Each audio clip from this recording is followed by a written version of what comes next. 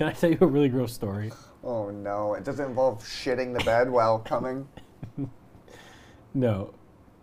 You know, I won't say it. If, if, if Emi's closing her ears, she doesn't want to hear it. All right. No, I, w- I don't. I won't hear it. Okay. Close your ears, close your ears. It's kind of gross. So I used to have like a girlfriend. I'm not gonna say who it was. Long time ago. Okay. That was that happened to also be like as gross as she used to be a squirter. Okay. Cytherea? Close. Okay. But sometimes it's the same girl that also liked uh, cream pies. Getting and then yolk drop? sometimes you could feel it when she's about to you know squirrel over you. Yeah, I know that feeling. It's like they squeeze. It's almost like they squeeze the wang out of you, Yeah. And sometimes like but like the wang pushes out. all the juices would just come back flying on you. Yeah. yeah.